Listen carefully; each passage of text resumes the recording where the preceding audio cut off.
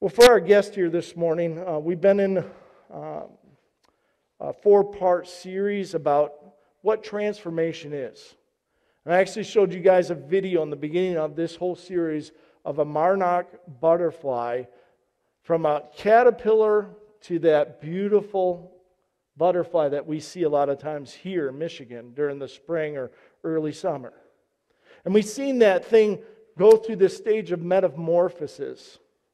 And again, it, it changed. You could not deny it. It went from this green, ugly worm to this beautiful butterfly. And see, that's the idea of transformation. Transformation. And last week we were looking at, and we're going to finish up, how does this transformation take place? And we looked at surrender. And we see the Apostle Paul here. It says this in Romans 12 2 Do not copy the behavior or customs of this world but let God transform you into a new person by changing the way you think. Then you will learn to know God's will for you, which is good and pleasing and perfect. Which is good, pleasing, and perfect. And the thing is, is this it says this don't copy those behaviors and customs. And so many of us, we are pulled to the behavior and the customs of this world.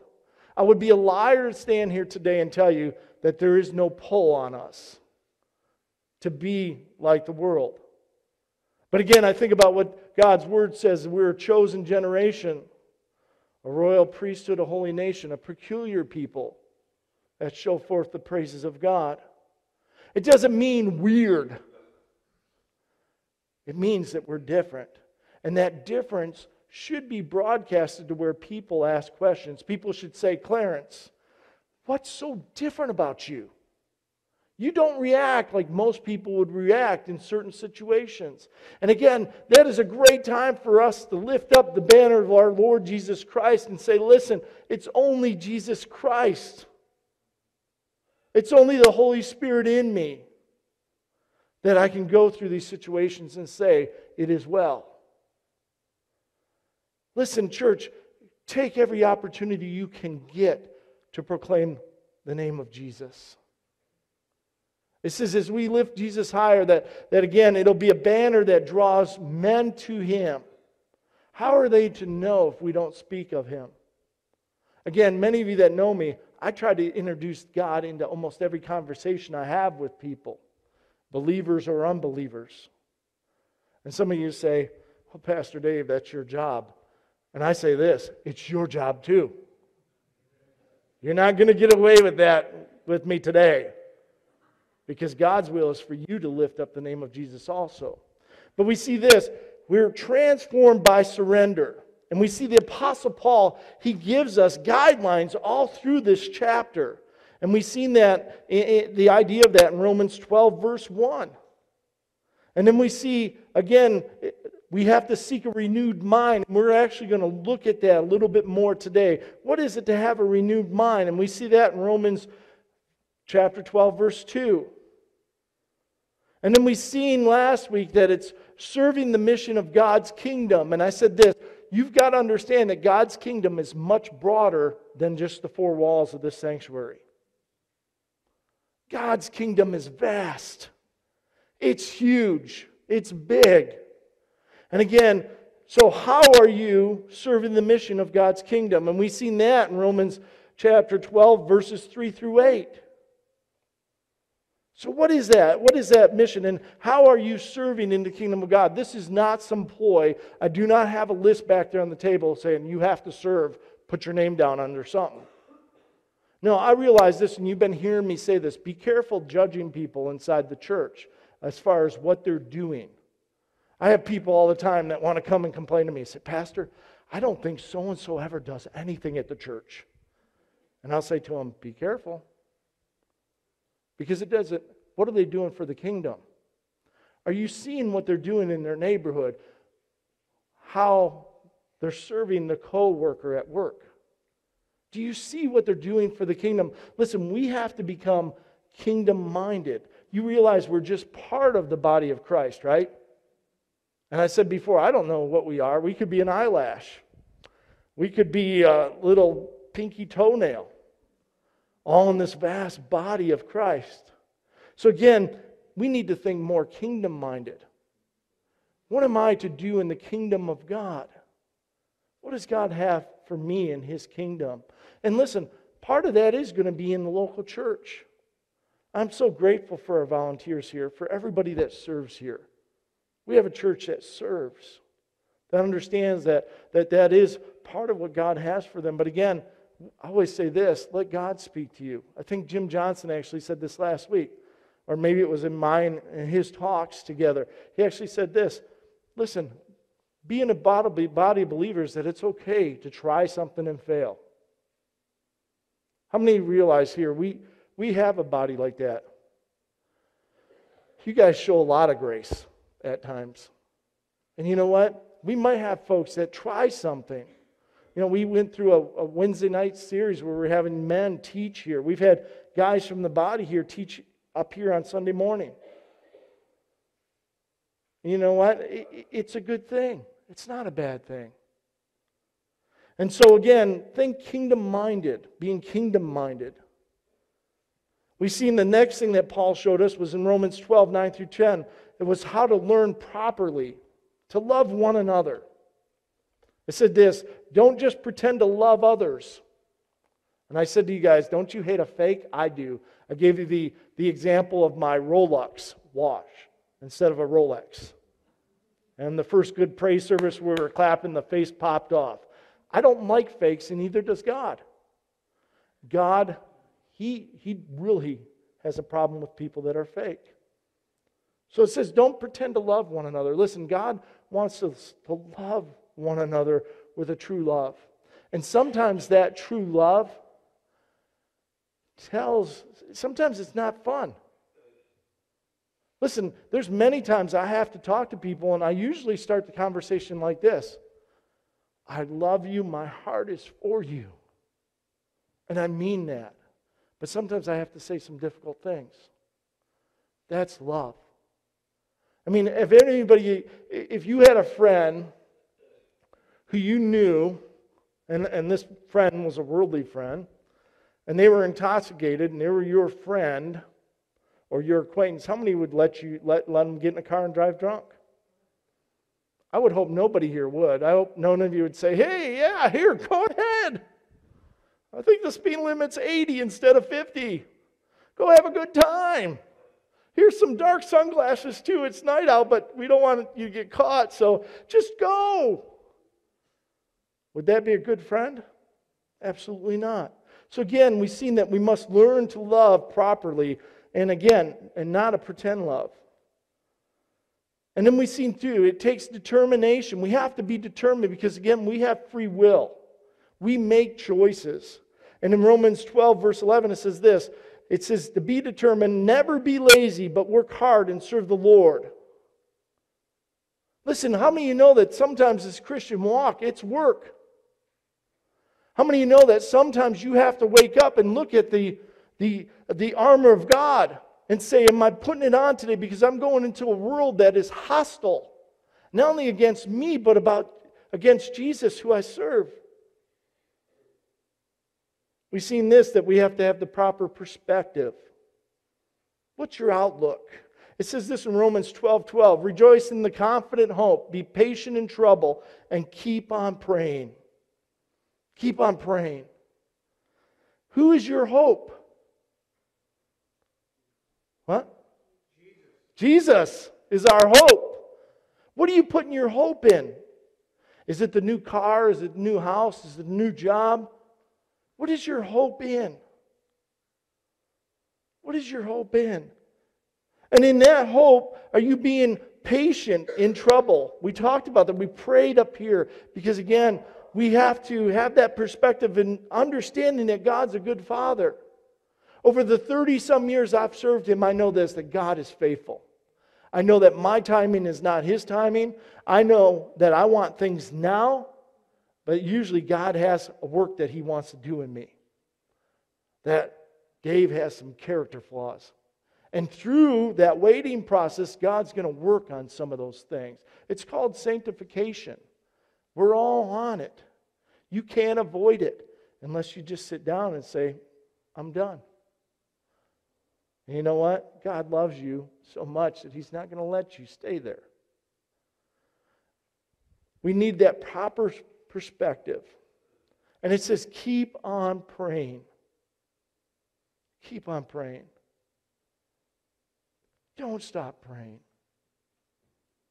Listen, I think so many times, and again, we did a series here in Nehemiah where I actually called a prayer a shotgun prayer. The idea, boom, those quick prayers. I remember once going over a hillside in the wintertime and all I seen was trees, and I did a shotgun prayer really quick. Jesus, save me! And I'm here today. He heard it. He heard my shotgun prayers. But again, listen, I don't want to overlook the idea of a prayer closet. How many of us actually take time to pray? And it was Pastor Dick that spurred me on about five years ago, said, Listen, during your prayer time, don't only just speak words, but listen. Take time every day and just say, God, speak to me. God, you speak. So listen, it's the idea of, again, having that proper perspective. And then we left off last week with the idea of, of it's also community, how we're transformed. What does the Bible say about iron? Iron sharpens iron. Whew, sparks fly. How many of you have ever worked on a grinder, a hand grinder, and you get those, you're grinding on that metal and you're forming that metal, you're getting exactly way you want, all of a sudden a spark goes down your shirt. Whew, it hurts. You get sparks in your glove, or I remember welding too, and again, that was adding metal to metal. It was forming metal, and the thing is, is this: sometimes it hurts. But how many realize it's a good thing? It's a good thing. And the thing is, is this Paul actually gives us some verses here about community. It says this when God's people are in need, be ready to help them. Always be eager to practice hospitality. Do you see what he says? He says, eager to practice hospitality. It says, Bless those who persecute you, because he's talking about community. We have a community here at Momentum Christian Church, but we also have other sister churches that we have community with. And listen, any Christian you walk into, you should be able to have community with. You have something in common. You have the same Father. You have Jesus Christ, the Holy Spirit. And we've heard testimonies about that, just how amazing that is to where you can go across the country, run into somebody that knows Christ, and right away there's a sense of community. You're His too. And the thing is, is this God is talking, He's placed us here as a church to be a body, a community together. And like Jim said last week, I'm so excited about this Thanksgiving dinner because I truly believe that's going to be real church. See, we, like Jim has said, we've a lot of times distorted church, and many of you know we, we've made changes over here over the years to, to try to get away from that a little bit. Again, trying to get back to what Scripture is saying, what church should really be. That's why we have to be a body believer that truly loves one another, that are truly laying down our lives for one another, preferring one another, it says in Scripture, and that means simply to lift somebody above you. And how many of you know in this world, it's not the world we live in? We live in a world that wants to put you down, wants to put you down and under. You work in a workforce that, listen, people are trying to better themselves so they can get your job. Things out there are hostile. But that's not what God's called us to be. He says, Bless those who persecute you. Don't curse them. Pray that God will bless them.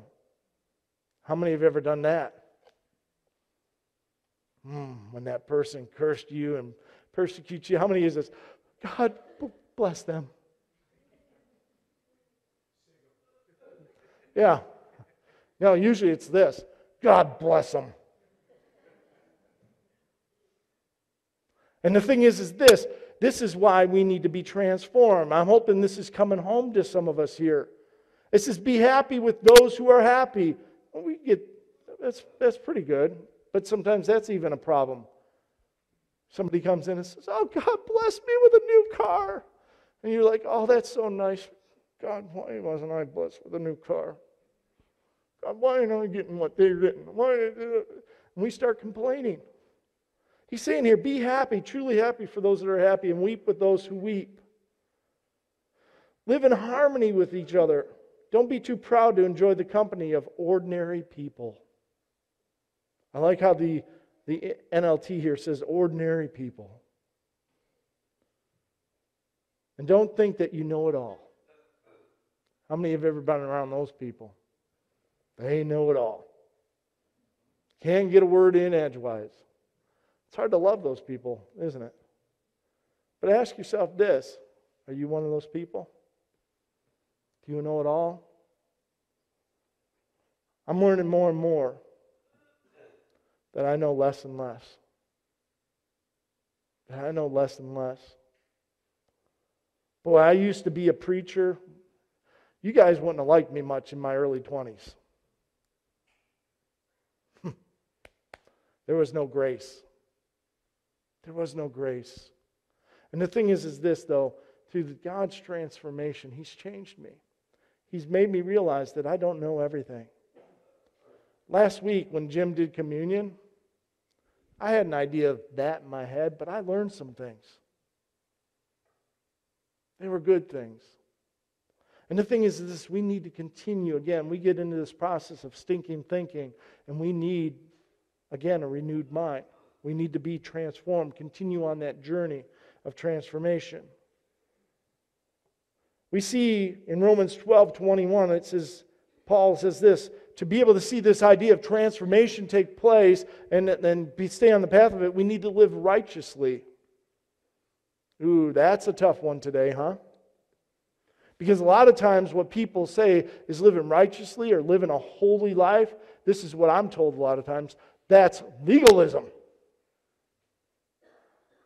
Listen, I'm going to tell you guys something. I came out of a church that was so legalistic. I know and I hate legalism. But there is something about living a righteous life for God. There is something about living a life of holiness. Jesus said this Be thou holy, for I am holy. Said that about God the Father. Be thou holy, for I am holy. And it says this in Romans 12 21 Don't let evil conquer you, but conquer evil by doing good. Listen, I'm going to tell you if you don't put on the armor of God every day, evil will conquer you. You will lose the battle, you'll get wounded, and you'll live a defeated lifestyle. You put on the armor of God, you have a weapon right here that strikes blows but also protects you from blows. Are you using it? Are you using it? Listen, I am more scared than ever. I was talking to somebody on the phone last night telling me that Paul's writings aren't even legit. I, I, I, this is what I said to him Good luck facing your battle this week. Listen, the whole Word of God the whole word of God, it has everything for us to get through this life, 2 Timothy 3:16 says. Are you using it? Are you hiding this word? We were talking about this in men's group recently, how important it is to hide the word of God in your heart. Are you hiding the word of God in your heart? Listen, again, I will say this again, and I'm assured of it. And I know many men before me have said it. But there's going to be a day in a lot of our lives that this is going to be illegal to own. You're going to have to hide this. If you can't see where our country, our nation is going, and this is why I pray for revival. This is why I pray for an awakening in the church. Statistics tell me, and listen, don't take, I'm beating up the sheep this morning. I love you guys. I, am a fellow runner just like you. But statistics show me in the church as a whole that 80% of Christians plus don't read this. It's the most owned book, but the least read in the United States. And I say, no wonder you're going through life defeated. No wonder you're going through life beat up because, for one thing, you don't have the sword of the Spirit. You're not using it. You're trying to fight a sword fight with a, with a stick, with a twig.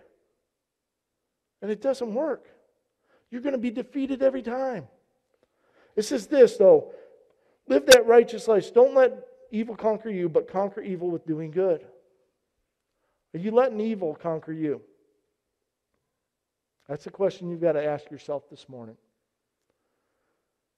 Are you allowing evil to kick your butt on a daily basis?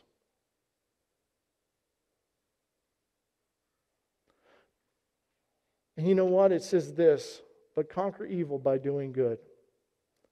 Last night, the same person said to me, kept on saying, You're a good man. And I'd say, No, no, wait. No, there's nothing good in me but Jesus. He'd say, Come on, you're good. And I was like, Listen, Jesus even said that there's none good but the Father.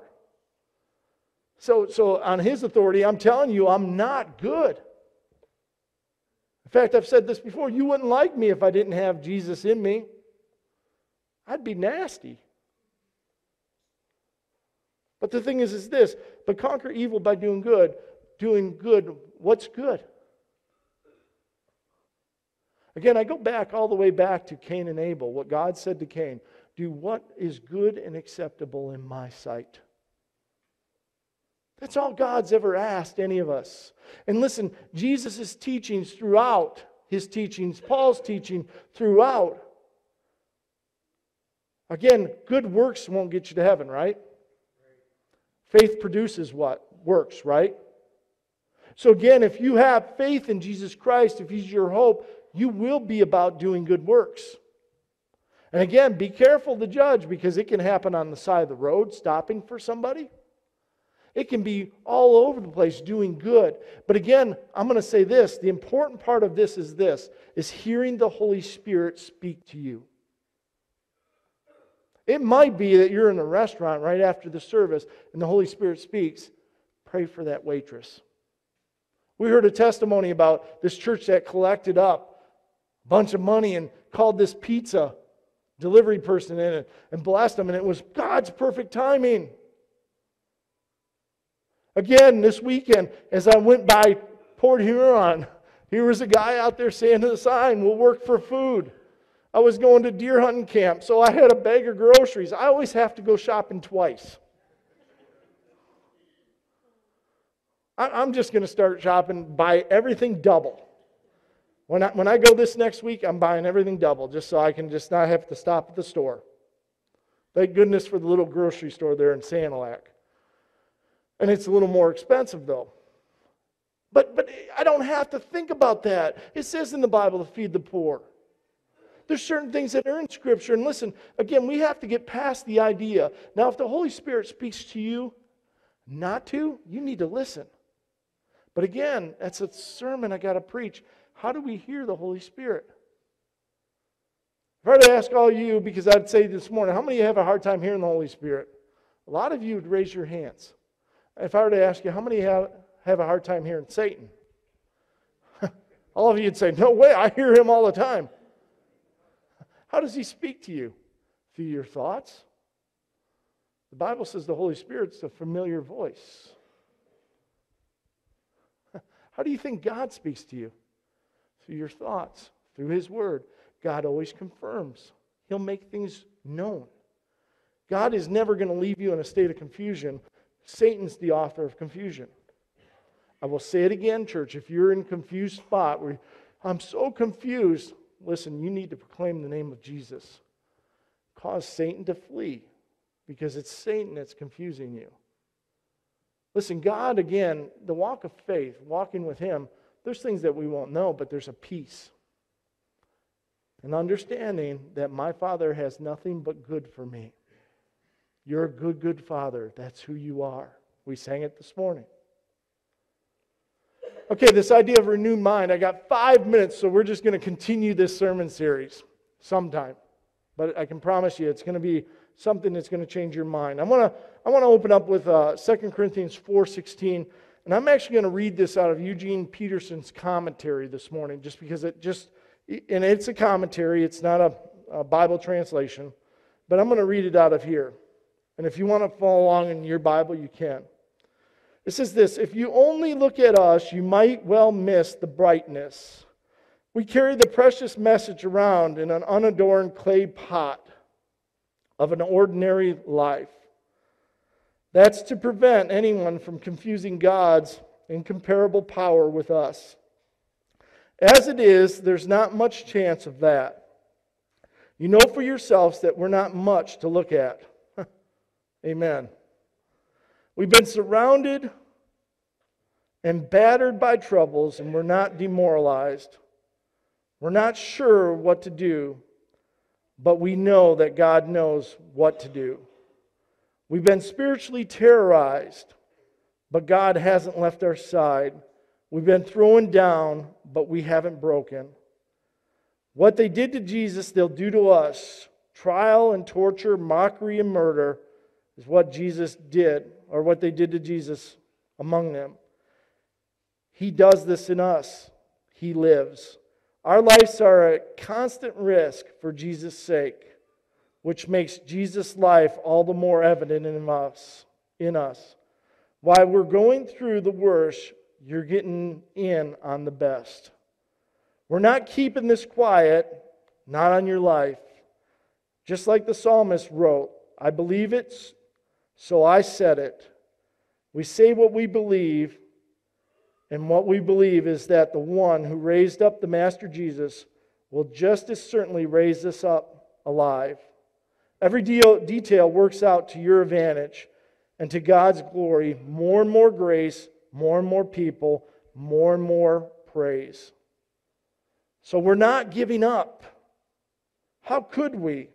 Even though on the outside it often looks like things are falling apart on us, but in the inside where God is making new life, not a day goes by without his unfolding grace. And again, in, in your script, in your in your Bible there, it probably says this. It says that we are, even though our outside bodies are falling apart, we're being what? Renewed. And Jim brought up this scripture last week and it was like, that's the top of my notes. Even though your outside bodies are falling apart, the inside man, the inside of you is being renewed daily. It's being renewed. And I don't know about you, I'm grateful for that.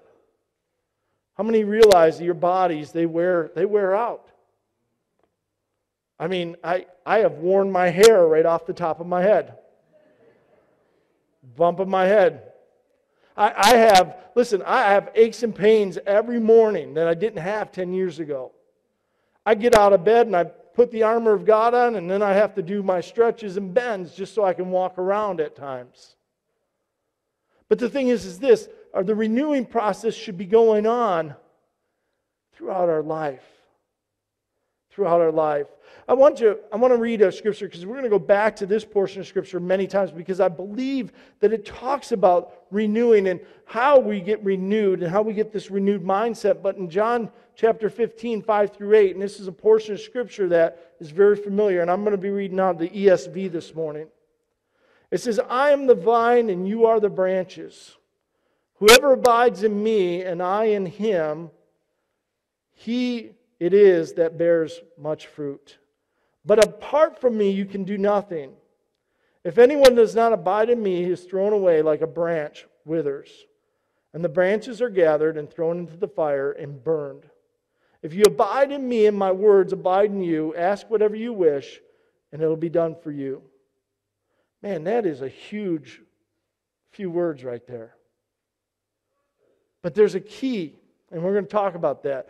By this my Father is glorified, that you bear much fruit, much fruit, and so prove to be my disciples. I'm often asked this question Can a person be saved and not be a disciple? Ooh. You're all waiting for an answer, aren't you?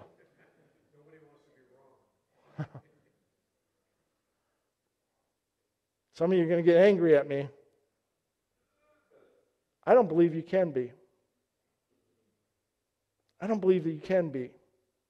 Again, I'm going to say this I'm a guy that believes that there's a lot of false conversion in the church. I see it every day. People that don't even have an idea what truly happened at the little prayer of salvation that they either raised their hands while everybody bowed their heads. That is, listen, I, I will go to the T's on that. that. That is so unbiblical.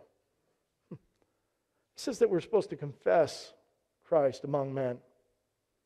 And this is how we lead people. Bow your heads. Everybody close your eyes, not an eye looking.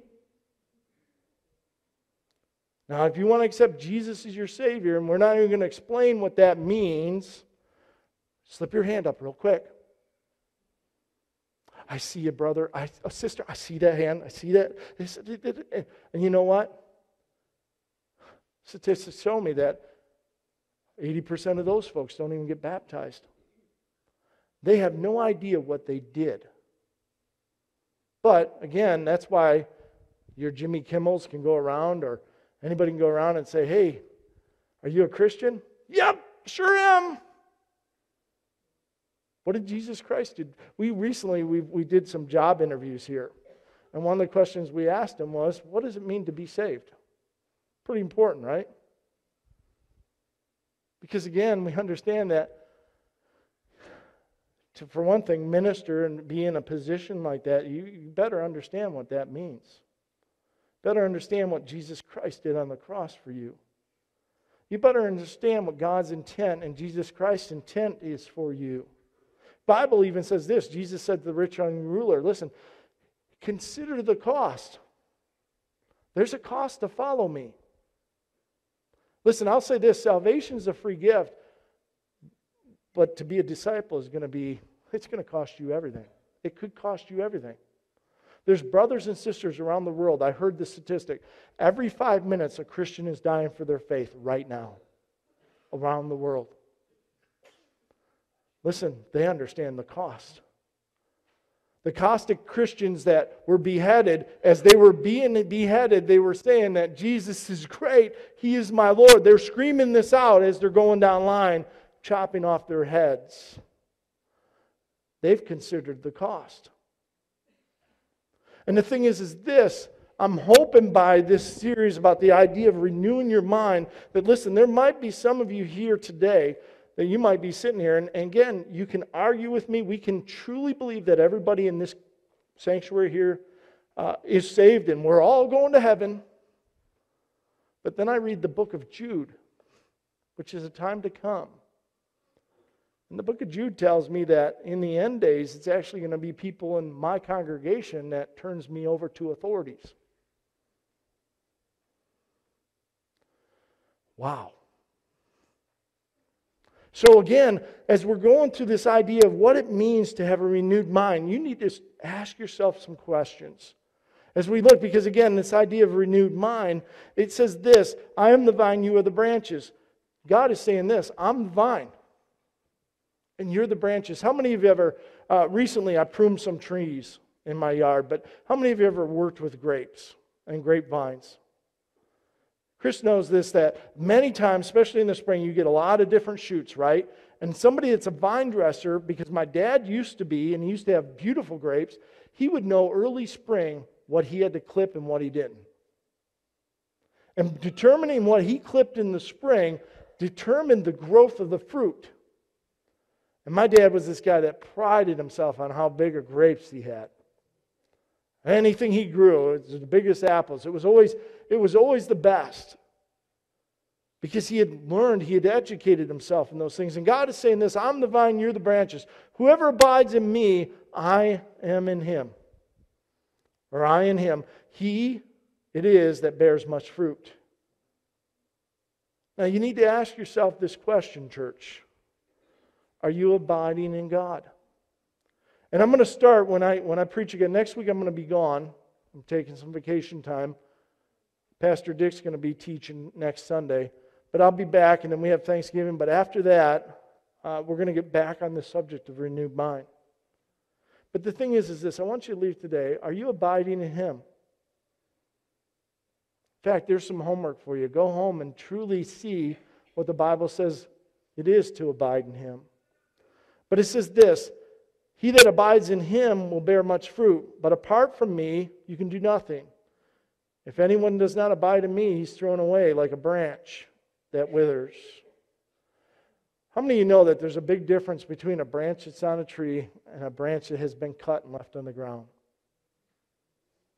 Big difference. The one on the tree is strong, the one on the tree is green. The branch that's cut a lot of times and is on the ground for a day or so, it's brittle. It gets brittle. All the life is sucked out of it. Anything that is life in it is gone out of it. It loses its leaves. It no longer can grow fruit. It says this in verse 7 If you abide in me and my words abide in you, did you hear that? It says this If you abide in me and my words abide in you, my words abide in you. It says this Ask whatever you wish, and it will be done for you. By this my Father is glorified, that you bear much fruit, and so prove to be my disciples. Now, listen, this is not headed to be a name it and claim it message. But there's a key there about prayer. And I'm going to, next time we teach on this, I'm going to draw you a diagram that's going to make it very clear.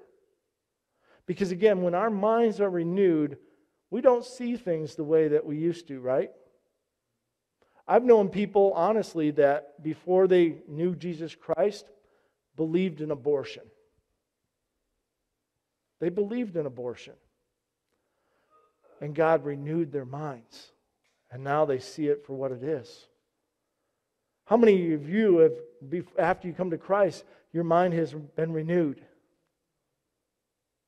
And again, that idea of being renewed is being new daily, being made new daily. It's a process that takes place. And like I said, I believe what I'm going to be able to show you is this is going to set some of you free to be able to start to bear much fruit, Scripture says. And again, the reason why it says here, then this is not a name it and claim it type of message, but it says this If you abide in me and my words abide in you, would ask whatever you wish. You get it? My word abides in you.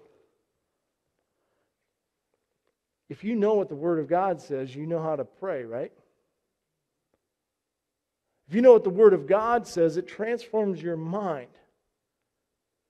If you believe and read the Word of God and let the Holy Spirit lead you, there's a transformation that's going to take place, a renewal of your mind that's going to make you think differently, like love your enemies, pray for those that despitefully use you, bless those that curse you. There's a big mindset that takes place. So, listen, stand this morning. We're going to close and we're going to continue down the road. I don't want to jam this into you and, and you're not able to. You, you all look very small, very smart, but I know this that um, if we try to jam too much in, you won't get it. But listen, ask yourself these questions. First off, is this Are you taking those steps to seeing that transformation in your life, that metamorphosis. That's what that word means in the Greek metamorphosis. Are you loving God? Are you allowing yourself and your will to be given up to be obedient to Him? And are you allowing the Holy Spirit to lead you and guide you and speak into your life? And then I want you to ask yourself this Am I bearing much fruit for God? Am I bearing much fruit for God?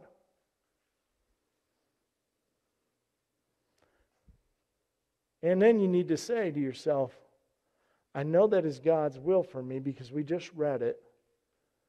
And you have to take a brave step here and say, God, prune me. Remove anything from me that's hindering me from bearing a lot of fruit. I planted four new fruit trees in our yard this last year. You know what? A couple of them had flowers, but none of them bared fruit. This spring, I'll be pruning some trees. I'll be cutting off some what they call suckers that grow off the bottom of the trunk. I'll make sure that those are all cut off so no important nutrients is going to something that's not going to bear fruit. And you know what? Because they're dwarf trees, I'm hoping for at least one apple. And you know what? You're going to hear about it You're probably going to hear about the bud. Somehow I'm going to work that in throughout my sermon series until I take that apple and give it to somebody because it's first fruit. Say, hey, enjoy it. But listen, ask yourself today am I bearing much fruit for God? And again, the key here is this it's abiding in the vine. Are you in Him? Are you abiding in Him? Lord, we come before you right now. And Lord, I pray this with a humble heart because, God, I need to examine my own life. God, I say this right now, Lord, I need some pruning done. God, I want to have and produce much fruit for you. But I know this that in myself I cannot do it. But God, my love for you, my obedience to you, and the Holy Spirit can produce so much fruit. And God, I'm taking the step this morning saying this. I'm going to be brave and I'm going to say, God, cut away whatever is not of you in my life. Lord, prune me. Again, the idea of that potter break me, mold me if you have to. And God, I pray for my brothers and sisters here, God, and I just ask right now, Lord, that you cause them, Lord, to truly examine themselves and ask that question Am I bearing much fruit? And God, I say that with not judging because I understand the kingdom of God is big. There's a lot of people that, man, you're using them in many ways outside these four walls. And God, they, they're not even, they're doing the right thing and not telling everybody. They're just giving the glory to you. But God, we want to be those that bear much fruit. Lord, you make it clear in the end times, Lord, in the days that we're living in, that we're going to know if people are in you and of you because of their fruit. And God, I want people to see good fruit on the tree, Lord, that you've given me. So, God, I just ask, Lord, do this work in us. Lord, cause us, Lord, to be those that are uh, being transformed daily. And God, I even ask, Lord, that you cause us to be those that, Lord, are in your word daily to receive that renewed mind because, God, your word will transform our thinking. And that'll transform our will, our desire, our purpose. And God, I just ask, Lord, do this work, Lord, that we cannot on our own. Lord, we need the Holy Spirit to do it in us. So, God, I just thank you for my brothers and sisters. Keep us until we return midweek. God, I just ask, Lord, cause us all to go out of here lifting you higher, the banner of Jesus Christ, so that all men might be drawn to you. And I pray this in Jesus' name. And everyone said, Amen.